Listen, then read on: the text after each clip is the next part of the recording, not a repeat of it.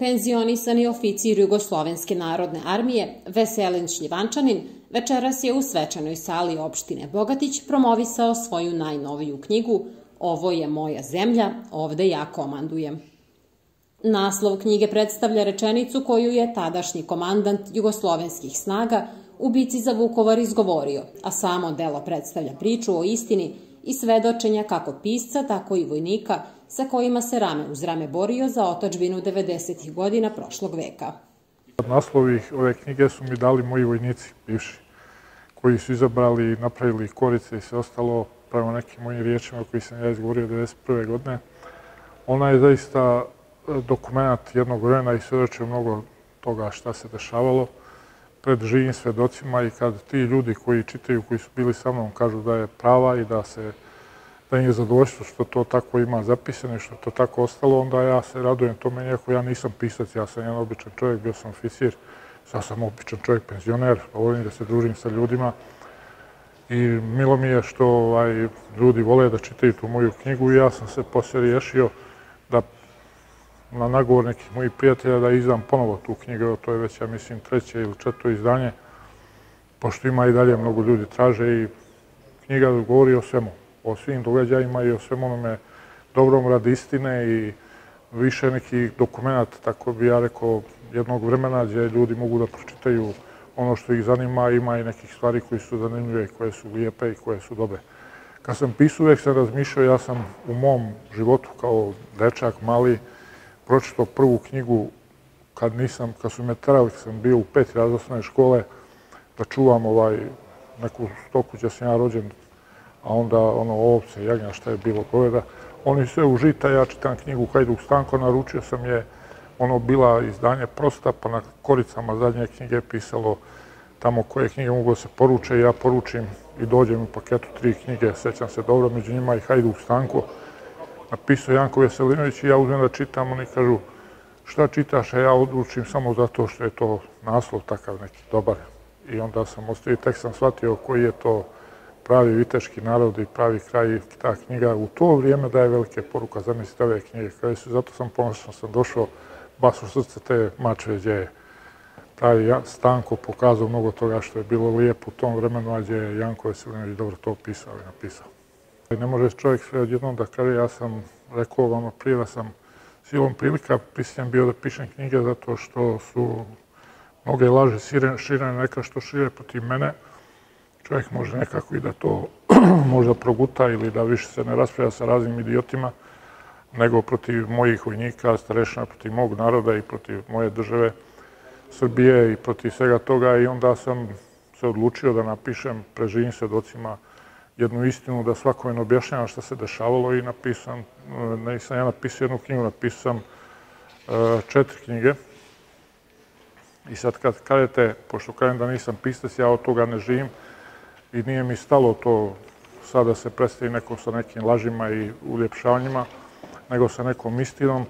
Nije lako ovaj, pisati ni jedan pismeni rad, a kamo li pisati knjigu. Trebaju noći neprespavane, ja pisam ulično noću kad svi legnu, ja osjećam tako ovaj, pišući to, pa onda se vraćam, pa posebno kad pišete e, događaje da ne izmišljate likovi i ličnost, onda morate voditi računa dobro da ne uredite i da ne pohvalite nekoga koja nije zaslužio. Prema je teško, a prostora ima, verovatno ću jednog dana opet da sednem, pa ću, kad napišem tu knjigu, onda će biti ovaj, mnoge stvari koje neki bi se začudili da možda to čuju, ali ne kažem da neću, možda ću napisati, ali teško je pisati knjige, nije baš lako. Bar za mene, a sad druge, jer ja ne izmišljam ništa da bi pisao, da bi se nekom nešto sviđalo.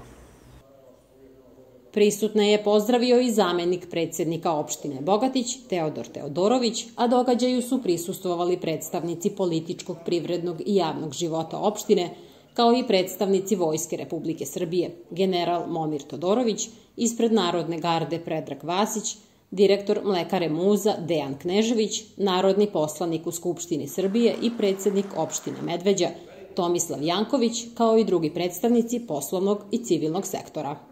Večeras mi je pripala izuzetna privilegija da vas sve zajedno najsredačnije pozdravim u ime opštine Bogatić, kao i svoje lično ime, te da vam poželim prijatan boravak ovde u našem Bogatiću. Svima hvala na dolasku, činite nam čast što ste naši gosti. Ljubav prema otačbini i svom narodu, borba za slobodu, nacionalno i lično dostojanstvo, časnu oficirsku reč su vrednosti koje se u svom punom sjaju vezuju za gospodina Veselina Šivančanina, istinskog heroja srpskog naroda. Ovde u srcu junačke mačve su kroz vekove ljudi se borili, uvek znali da poštuju slobodu, ali još više su znali da poštuju ljude koji su donosili slobodu, istinski junake, patriote, ljude koji su stavljali sebe iznad svega na štit otačbine i naroda, braneći sebe braneći slobodu svoje zemlje, svog naroda, svoje ognješte. Govoreći o gospodinu Šlivančaninu, govori se o osobi koja je visokog morala, častnom oficiru, patrioti, čovjeku koji je rođen 13. juna 1953. godine u selu Paleš, na Žabljaku, u Srpskoj Crnoj Gori, čovjeku koji od malena bio zadojen patriotizmom, željom za učenjem, za napredovanjem i kroz svoju oficirsku karijeru munjevito je napredovao. Na zadovoljstvo pre svega njegovih kolega, nas njegovih oficira, njegovih uh, vojnika, kolega oficira, ali nažalost kroz istoriju, kroz dešavanja nekome to zasmetao. I mi njegovi vojnici koji smo bili deo te slavne gardijske brigade, smo nekako preuzeli na sebe jedan deo obaveza da budemo uvek uz njega i da mu kroz ovakve promocije i ovakve događaje pomognemo da promovišemo sve ono što je bilo, a sve u službi istine, pravde, poštenja. I veliko je zadovoljstvo kada na ovakvom mestu dođe komandant garde, gospodin Todorović, sa svojim saradnicima, kada se okupe ljudi iz privrede, iz politike, iz javnog života, i svi oni ljudi koji imaju stalo do istine vezane za događaje iz 90. godina. Čitav taj opus prati ljudi koji se bave književnim radom. I oni imaju, da, kažu, iz ugla književnika, kako oni vide pukovnika Šljivančina kao nekog, da kažemo, novog pisca. Jedan od njih se obraća sledećim rečima. Nova autobiografska knjiga, ovo je moja zemlja, ovde ja komandujem. Dakle, roman u vidu pisama Veselina Šljivančanina, pukovnika JNA, penzionisanog oficira je pred nama. Do sada je objavio četiri knjige. U službi otačbine, Sine budi čovek, Medi žuč, Branio sam istinu. Njegove knjige su specifične i prepoznatljive. On ne pripada niti oficirskom književnom krugu, ako takav šta i postoji, niti bilo kom drugom stilu, stilskom pravcu. Šlivančanina kao autora najviše određuje to što je bio oficir, to što je bio pukovnik, određuje ga što je rođen u Jugoslaviji, određuje ga što je živeo u tri države na istom prostoru, određuje ga to što piše na jednom jeziku koji se danas govori u četiri države, određuju ga neki ljudi koji je upoznao i neke koje nije upoznao, određuju ga knjige koje stalno nosi iz grada u grad, sa promocije na promociju, to što je bio zatvoren u Kaškom tribunalu jednu deceniju, određuju ga rečenice koje je napisao i koje je izgovorio na suđenju koje su prenosile brojne televizije. Sve ovo pobrojano kao osobenost iščitava se iz njegovih dela, pa i ovog novog. Možda ne sa književnom namerom, ali verovatno nesvesno pod pritiskom vremena i društvenog razvoja ili istorijskog toka, on je napisao delo u kojem u književnom teorijskom smislu održava destrukciju žana romana, biografije ili dnevnika. Pošto ovo delo nije ratni dnevnik, jer kako kaže sam autor, on je oficir JNA, učestvo u sukobima sa narodom u Hrvatskoj koji se protivio odlukama državnog vrha. Ovo je na neki način i vojnički, bolje rečeno, oficirski dnevnik. To je u jednom delu autobiografija ili biografija iz pera sudskih činovnika, jer sadrži transkripte sa suđenja u Hagu, opisuje i analizira sve procese, ali, dalje, ali i daje i razna razmišljenja samog autora. Ovo je originalno svedočenje čoveka bez političkih, nacionalnih ili ideoloških predrasuda. Sa druge strane, ovo delo bi moglo da bude i neka vrsta autobiografije, biografije, romana, modernog, postmodernog, u svakom smislu.